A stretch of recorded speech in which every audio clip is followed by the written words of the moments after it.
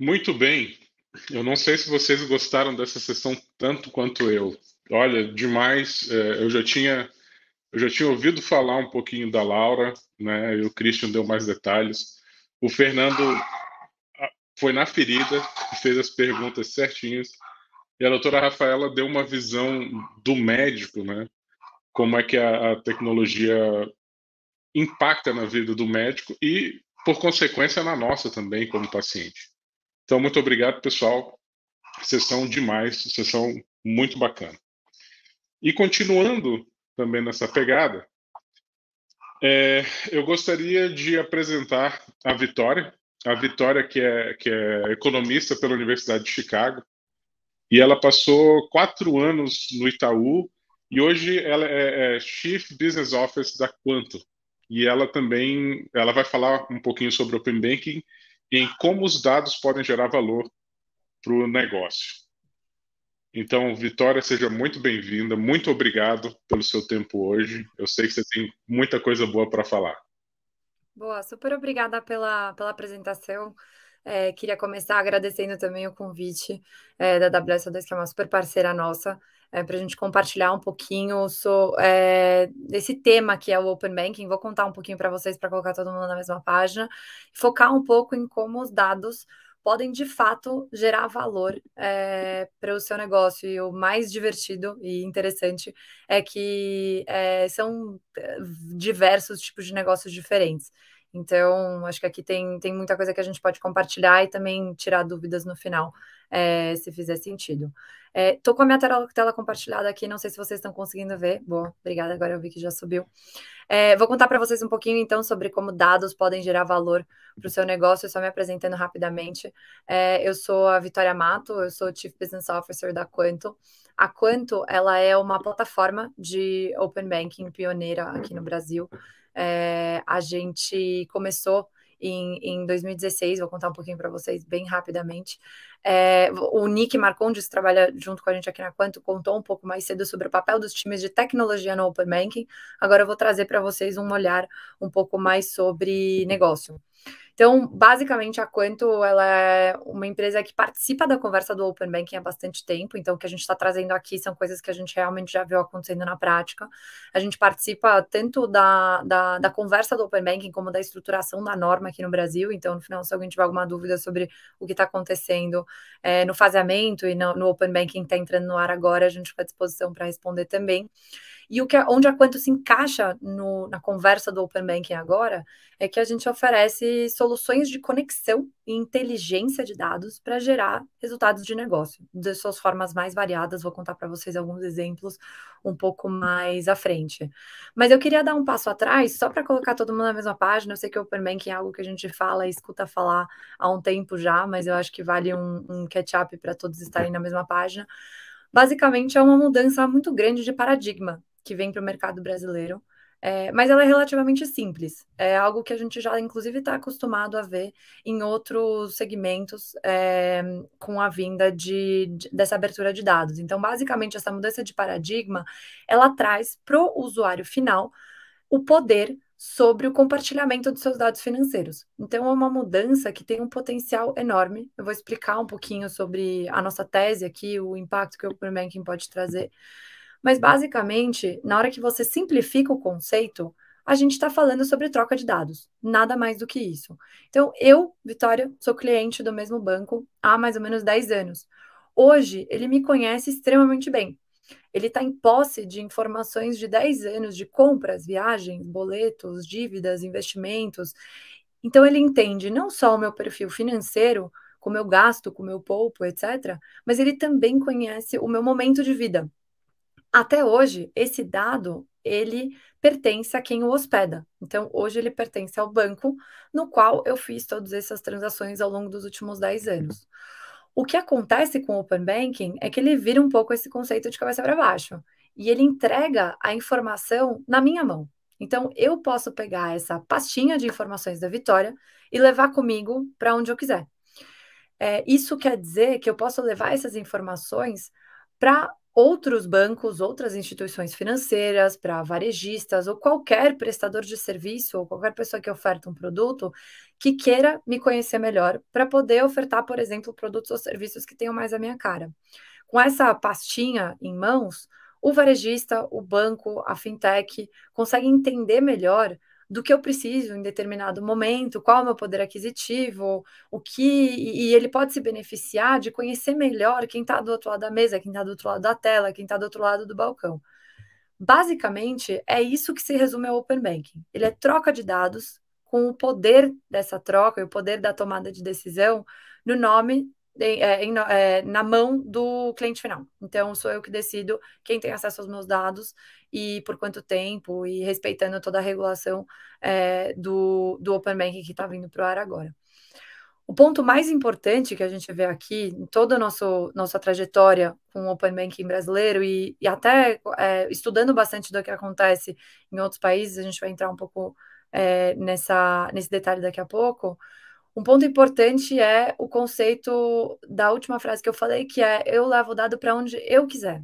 Então, esse conceito de que eu estou em é, é, responsabilidade minha e eu que tenho essa caneta, ela se chama consentimento. E ela vale ouro no, nessa nossa corrida do, do Open Banking.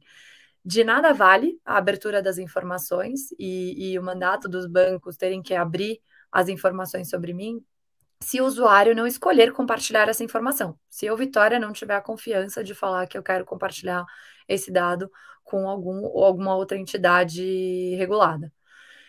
E essa escolha de quem recebe o consentimento, ela faz toda a diferença. Então, você tem dois lados da equação. Eu, como usuário final, que tenho vários dados para compartilhar, topar compartilhar esses dados, e o lado do banco expor esses dados. Sem essas duas coisas acontecerem em conjunto, o Open Banking ele é só uma frase bacana.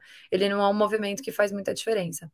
Então, a Quanto atua muito nessa frente também, trabalhando em conjunto com os nossos clientes para garantir que o usuário final entende exatamente o que ele está compartilhando, com quem ele está compartilhando e qual é o benefício para ele, que são pilares super importantes, tanto para atender a regulação, mas para maximizar é, a conversão e, e ter o, a oportunidade de utilizar esses dados que são extremamente ricos da melhor forma possível para de fato gerar um resultado de negócio.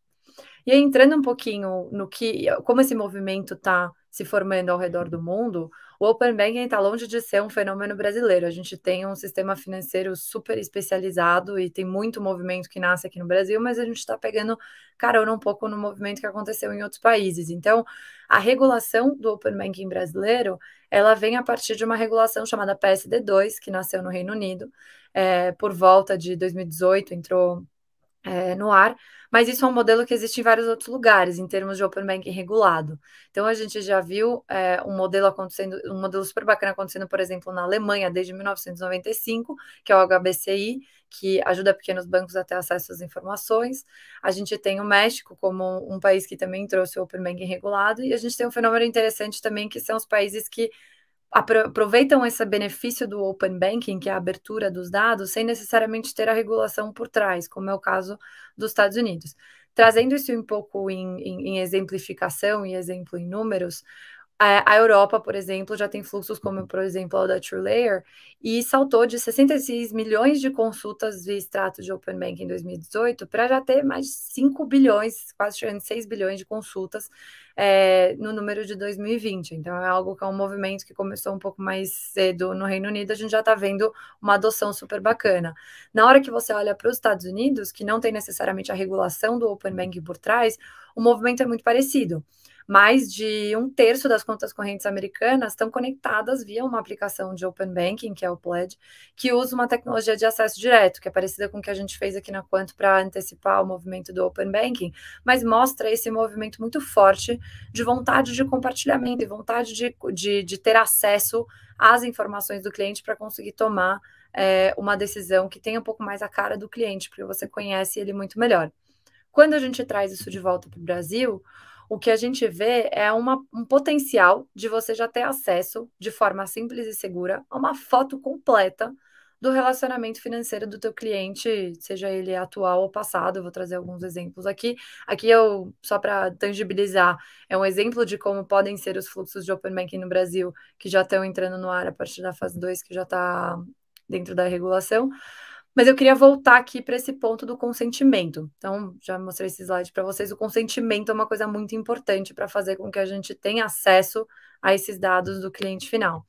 A gente fez uma pesquisa super bacana, proprietária Quanto e, e Aster, é, em agosto desse ano, para tentar entender qual é a propensidade do brasileiro de realmente entrar nessa onda do Open Banking e compartilhar os dados. E a gente vê que a confiança tem um papel muito importante aqui. É, e aí o que a gente está vendo é que os canais de hoje eles podem se beneficiar desses dois pilares mais importantes para ter acesso aos dados, que é a propensidade de compartilhamento, junto com a confiança para ser a escolha de compartilhamento do cliente. Nessa pesquisa, a gente tentou entender qual é a propensidade do brasileiro de compartilhar é, os seus dados financeiros com base em algum retorno. Aqui a gente estava questionando, por exemplo, a potencialidade, a, o potencial de compartilhamento de dados para você, por exemplo, poder ter uma melhor taxa, porque o banco no outro lado, a fintech, conhece um pouco melhor qual é o risco do empréstimo e consegue ajustar é, um pouco melhor a taxa para o seu perfil. E a gente viu um número super animador de 65% dos brasileiros já dispostos a compartilhar informações se trouxer um ganho. E esse ganho aqui é a melhoria das taxas. A gente já vê um percentual considerável de clientes hoje é, compartilhando os dados via Quanto também. Então, como eu mencionei, a gente tem uma tecnologia que antecede o Open Banking, que é o acesso direto, e uma coisa super interessante foi que em, é, uma estimativa da F-Câmara era de que você teria 5 milhões de brasileiros acessando o Open Banking em 2022. No pré-Open Banking, só na Quanto a gente já está vendo mais de 3 milhões e meio de pessoas impactadas com esse fluxo em 2021. Então, na hora que você junta esses 65% de brasileiros topando abrir os seus dados financeiros e o que a gente já conseguiu ver de impacto aqui na Quanto, tende a ser um número muito animador e uma propensidade de abertura de dados muito bacana que pode ajudar quem está recebendo esses dados a conhecer muito melhor quem está do outro lado da mesa. E aí, entrando um pouquinho, então a gente falou um pouquinho sobre o que é o Open Banking, qual é o potencial realmente do Open Banking decolar aqui no Brasil. Agora eu queria entrar com vocês um pouquinho no que a gente tem de exemplos de, tá bom, recebi essas informações, isso é um pedaço da equação. O maior desafio que a gente vê hoje é: tenho muitas informações em mãos, e o que eu vou fazer com essa informação? Como eu vou transformar isso realmente num resultado de negócio que faça sentido eu mudar a forma como eu opero hoje para incorporar essas informações novas que estão vindo com o Open Banking?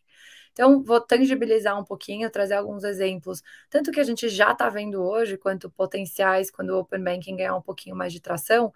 E um exemplo muito bacana que a gente já viu acontecendo aqui pela Quanto é o que a gente chama aqui de crédito inteligente. Então, é, basicamente, o Open Banking ele te dá acesso a dados financeiros de clientes que podem ser usados das mais variadas formas. Uma das minhas favoritas é o conceito do crédito brasileiro pré-Open Banking hoje ser limitado a basicamente duas respostas. Você tem o sim e você tem o não. Ou eu vou emprestar ou eu não vou emprestar. O não, ele pode acontecer por diversos motivos, mas muitas vezes ele está lá por falta de informações. Então, o que torna o sim uma coisa muito arriscada, porque eu não sei quem está do outro lado, então o risco que eu corro é tão grande que eu vou ficar aqui no não, porque o sim é algo que pode acabar atrapalhando a minha operação. O Open Banking, ele permite transformar o não, que hoje tem uma representatividade enorme, num talvez. E esse talvez pode eventualmente virar um sim, porque a gente consegue pegar esse não, que é um não um pouco mais nebuloso, e destrinchar um pouquinho melhor as informações e entender um pouco mais quem está do outro lado da mesa. A gente viu isso acontecendo na prática com um parceiro nosso que, ao usar os dados análogos ao do Open Banking, que é a nossa tecnologia de acesso direto, viu um aumento de 28% na taxa de aprovação de crédito. Isso é basicamente crescimento na veia, é um não que virou um talvez, que virou um sim em 28% dos casos. Mas tem um ponto importante que é de nada adianta é, a gente só aumentar a concessão. É, a gente sabe que abrir a torneira de crédito é relativamente simples, o complicado é você conseguir transformar essa abertura de torneira num retorno e algo que não traga algo que machuca potencialmente o seu negócio. esse mesmo cliente viu um aumento na taxa de assertividade do modelo de 37%. Então, o que, que isso quer dizer? Ele emprestou de forma mais inteligente e ele viu o retorno desse investimento. Então, cada vez que ele abriu essa torneira, por ele ter dados de open banking pautando a tomada de decisão, ele tomou decisões mais assertivas, ele acertou mais ao decidir que ele ia emprestar, ou e acertou mais ao decidir que não ia emprestar, é, acertou um pouco mais e pôde rentabilizar é, melhor o negócio dele. Então, o dado de Open Banking, ele permite, além da tomada de decisão mais assertiva, uma definição mais rápida, se quiser, por exemplo, reaproveitar um limite de crédito que um cliente já tem em outro banco. Então, antes mesmo de você ter que construir um modelo de crédito super complexo e aprender como utilizar esses dados novos, o cliente já pode ver o impacto no uso desses dados, porque você aproveita um limite que ele tem pré-existente ou com o uso das informações, você pode potencialmente diminuir fraude é, e default, já que você pode conhecer melhor quem está no outro lado da mesa e verificar se, por exemplo, a conta que foi conectada foi aberta há pouquíssimo tempo e tem movimentações peculiares, pode ser uma conta fraudada que foi criada só para você conseguir tirar proveito de uma oferta de crédito.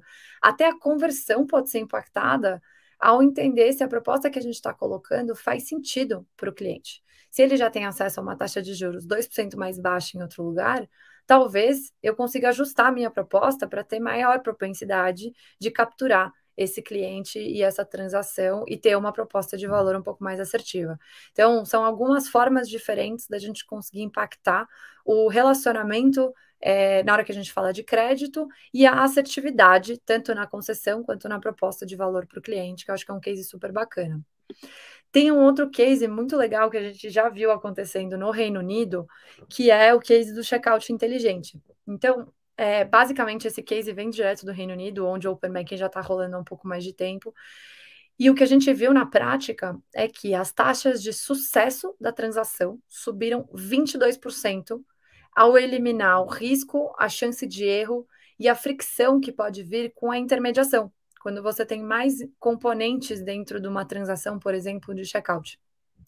Isso veio através do uso da iniciação de pagamento, que vem por aí na fase 3, o lançamento acontece nessa sexta-feira. É, a, a, quanto a, uma notícia bacana foi aprovada como um dos primeiros iniciadores de pagamento dentro dessa configuração para poder ajudar nesse, nesse case do checkout inteligente. Basicamente, o que acontece dentro desse arranjo é um pagamento de banco para banco. Então, você leva a taxa de sucesso da transação para cima de 95% no Reino Unido, quando você eliminou alguns elos da cadeia que perdiam um pouco da eficácia e da efetividade da transação realmente virar algo que, que vai até o, o último passo. Então, aqui a gente está falando de taxa de sucesso, mas a mesma coisa se aplica ao custo dessa transação. Então, hoje, um player que está fazendo um pagamento, por exemplo, uma varejista, não precisa mais se preocupar com super altos custos de intermediação no checkout, deixando um pedaço da receita pelo caminho é, para conseguir finalizar uma compra, por exemplo. O pagamento direto, ele passa a ser uma realidade e ele está chegando daqui a pouco para tanto aumentar a taxa de sucesso na transação e diminuir um pouco dos custos dessa transação também. É, vou dar um, um, último exemplo na hora que a gente falar das coisas um pouco mais tangíveis e aí trazer um pouco mais fora da caixa. É, hoje a gente consegue ver um impacto muito bacana, por exemplo, na jornada de onboarding e construção do CRM. Então, o Open Banking, ele permite um reaproveitamento de dados cadastrais já existentes. Se você pensar no teu relacionamento bancário ou até entrar no teu internet banking, você provavelmente teve que preencher uma ficha cadastral considerável. Então, essas informações elas já, já estão aí. O que o Open Banking permite é um efeito de login com Facebook ou login com Google, onde você pode reaproveitar esses dados de cadastro, por exemplo, que já estão hospedados dentro do teu banco, para conseguir facilitar as jornadas de onboarding e usar essa informação que garante não só agilidade, mas menor fricção na jornada. Então, você tem mais uma validação instantânea de identidade, que pode até ajudar na redução de fraude também, e acesso a mais informações do que poderiam ser requeridas no fluxo normal de onboarding. Pensa que um fluxo de onboarding você tem que otimizar para pedir o menor, é, o menor número de informações possíveis para você garantir uma jornada fluida. Aqui você pode até reduzir o tamanho da jornada e conseguir mais informações em contrapartida, porque essas informações já estão disponíveis, já foram preenchidas previamente. Isso garante que é, a finalidade do uso do dado está clara para o usuário final e ainda assim tem um benefício muito claro de ter acesso é, a mais informações que podem gerar, por exemplo, insights futuros é, que podem ajudar na conversão e em como você tem um relacionamento com o teu cliente. E aí, entrando um pouquinho num outro case que a gente acredita muito que pode acontecer, é o da inteligência competitiva. Então, quando os clientes confiam e compartilham o seu histórico, uma empresa, pode, pode ser um banco, uma instituição, aqui a gente está usando o exemplo da varejista, está em posse de informações que permitam mapear o seu posicionamento frente à cesta de compras do cliente. Isso, mesma coisa pode se aplicar ao mercado financeiro também, um banco, onde você consegue ter uma visão muito mais holística de quais são os relacionamentos bancários, produtos é, contratados por um cliente. A gente pode entender se, por exemplo, um cliente está gastando 10, 20 ou 70% da cesta dele com um varejista ou com outro, e abordar ele de forma mais assertiva para você conseguir crescer a sua carteira. Então, se você, por exemplo, entende com essas informações que um cliente está gastando 10% da cesta dele com você, Quais varejistas será que estão captando esses outros 90%? Essa era informação muito difícil de conseguir até agora. E com o Open Banking, você consegue entender onde que está acontecendo o resto dos, dos gastos que hoje não estão contemplados dentro da sua jornada. Você consegue entender também o crescimento da sua representatividade, entendendo, por exemplo, ao longo do tempo, se a concorrência está ganhando ou não espaço, se e, transformando isso, claro, numa tomada de decisão, ou se existe uma linha de produtos diferente que está ganhando um pouco mais de representatividade num público específico e ajudando a incorporar esses dados numa tomada de decisão estratégica é, para a empresa. Então, se um cliente, por exemplo, está usando 10% da sua cesta na sua loja e os outros 90% em outra geografia, será que isso abre espaço para um novo posicionamento? De loja. Mesma coisa no mercado financeiro. Será que você está ofertando um cartão muito parecido para um cliente, mas ele está recebendo um cartão de uma outra instituição, mas ele está num branding, por exemplo, de bandeira diferente? Você pode ter um cliente que está num segmento black num, num lugar e não com você, isso faz com que ele use um pouco mais esse cartão, e só um pequeno posicionamento de faixa já faz com que você possa ganhar competitividade um pouco mais dessa cesta de gastos dele. E essas são informações que hoje não são fáceis de você ter acesso processo. E através da, da conquista da confiança do cliente e o uso do Open Banking, isso vira informações extremamente estratégicas para a tomada de decisão.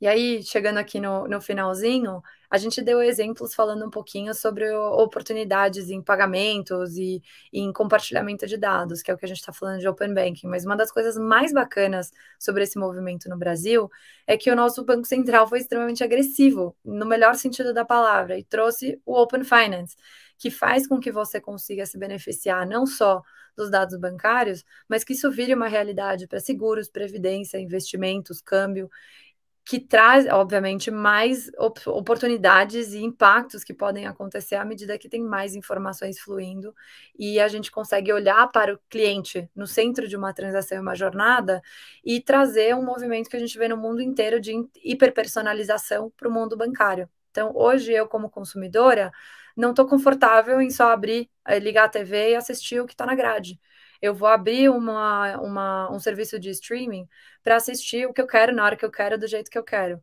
E a gente começa a trazer esse movimento para o mercado financeiro também, onde a gente enxerga o cliente não só como mais um número ou como um, um bucket de clientes, você consegue enxergar aquela pessoa unitária por todas as transações passadas, o momento de vida, o momento de compra, a propensidade de compra, para poder ser muito mais assertivo é, na hora da tomada de decisão. E é basicamente isso. Espero ter conseguido ajudar a entender um pouquinho mais sobre o Open Banking, as oportunidades. Quem tiver dúvidas pode procurar a gente no, no e-mail da Quant, que é comercial.com.to, ou no LinkedIn. A gente adora falar no assunto, vai adorar explorar mais oportunidades com vocês.